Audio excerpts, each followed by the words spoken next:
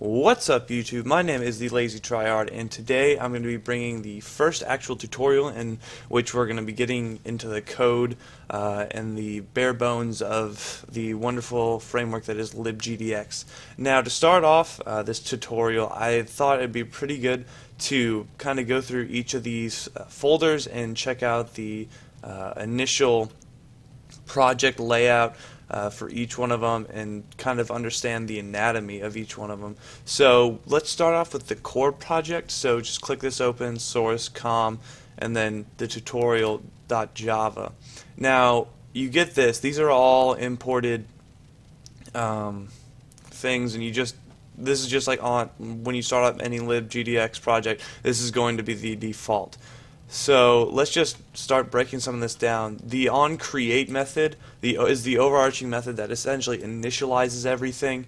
Uh, it basically sets everything up. Now it's called only once. So we just these things are set once and they're never set again. They're start set from the start and then after that we have to rely on the either the update or the render or the resize which in this one we don't have an update because it's an app it implements an application listener. Uh, we're later going to change that to game uh, because that's just what we're going to be using. So just think of the on create as kind of like the thing that starts everything it lays the foundation. Uh, next you have the dispose which we really don't need to worry about that. Just know that it kind of handles getting rid of the textures once we close the uh, program so that the computer or the Android device doesn't have to deal with that.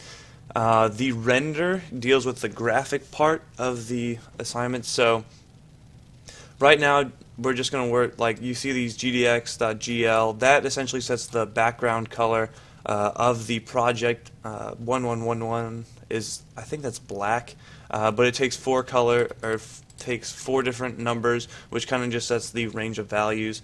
Uh, and then gl.clear just clears the screen so that it can re-render it. Uh, the batch.set projection matrix is essentially, it, it's basically, right now just think of it as kind of, it sets the coordinate system for where uh, all the uh, images are drawn. So if you want to draw an image at 0, 0, this is going to set what that uh, coordinate system is at. And camera.combine, we'll worry about that once we get into cameras. Uh, and then these don't necessarily, we're not going to deal with a pause and the resume right now. Uh, the resize, we're not going to really deal with as well, but this is kind of like the update method. If we want, like, it's going to be called consistently, and it's going to basically be able to manipulate uh, different parts of the program. If we want to do, like, uh, if we want to make it move, that's going to have to update the position. If we uh, click, like, a WASD, like, move it left or right, up and down. So getting into the more deep things, let's start off with the camera.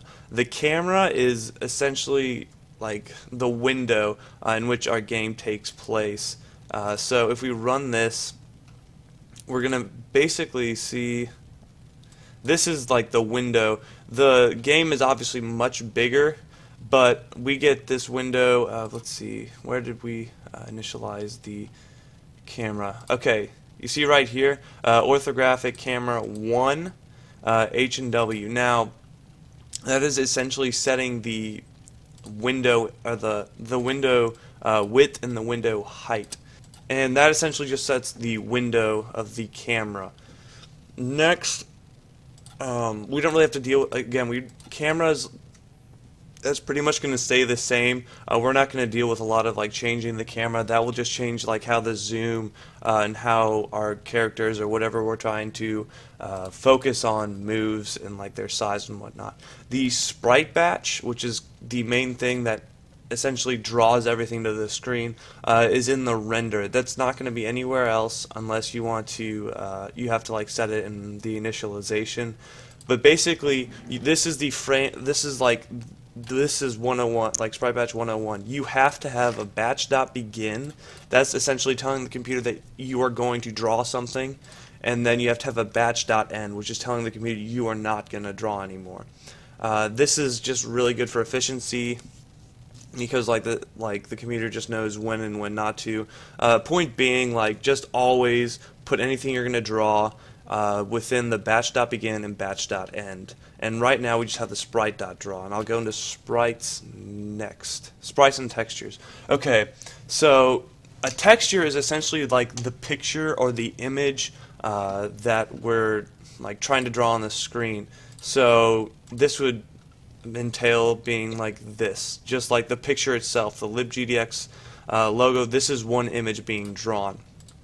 What a sprite does is it adds characteristics uh, to that texture or to whatever you're trying to do, so that uh, we can like watch the position, the you know, let's see, you can set the size of the um, sprite, you can set the origin and the position. This is just this makes it a lot easier to uh, set like if you're trying to do movement and it, will base you can just do sprite set set position uh, and then set whatever you want it to be. It's really good for updating and essentially it's just like an overall pretty general concept uh, for that. And then we let's see the texture just like when you're dealing with a texture, just know new texture, that's just initializing it, and the GDX files out internal. Uh, this is basically, don't worry too much about it, this is just accessing the file, and this is a GDX's version of um, doing that. It's essentially just like you're, you're trying to get the file, you're loading the file into this texture, and you have to say all these fancy words like internal, uh, and don't really worry about that right now. Just know that like that's how you access a file. The texture.set filter is just adding a fancy filter. Honestly, we could get rid of it and it would all, it would work just the same. Um, and we really don't have to worry about that. And then let's see. Oh, okay. Texture region. That's essentially like it takes a texture and it kind of like adds a square to it. So like it's not a pixel, but like it takes like a chunk of the image and it essentially like just put it's it's exactly like it, like it it's like a square um, and you kind of divide it from that. And then this is where the sprite and the texture collide. The sprite equals new sprite region. That's essentially casting this texture region uh, into this sprite. So now this texture that we're adding and changing uh, has a size. We can set the size, we can set the origin, we can set the position, uh, and I think we can determine a bunch of different things. Uh, just do if you if you want to just like explore while you're away, just type in like Sprite and just like go through all these. There's documentation for all of this, so like we can find out all this all these different things, and it's just really helpful when you're trying to uh, develop like a sprite engine, excuse me, or just developing a bunch of different characters. It's nice to not have to worry about handling all that uh, with different things and like having to code all that. So I think that's just like a ba- that's a basic lowdown of the tutorial. Now let's go to the uh, main.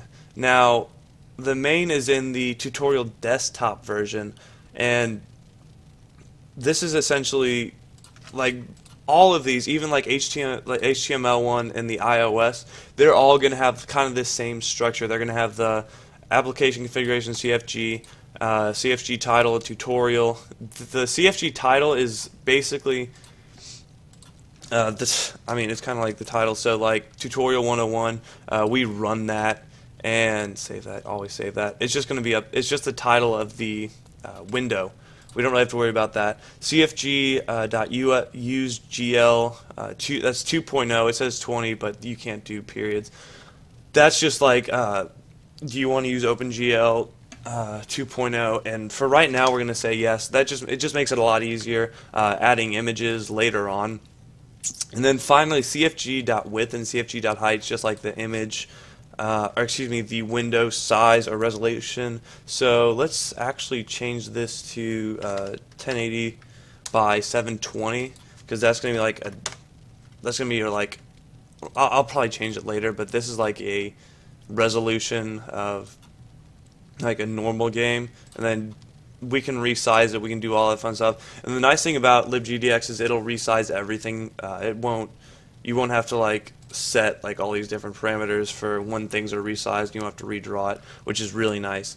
So that's really it for the tutorial on desktop.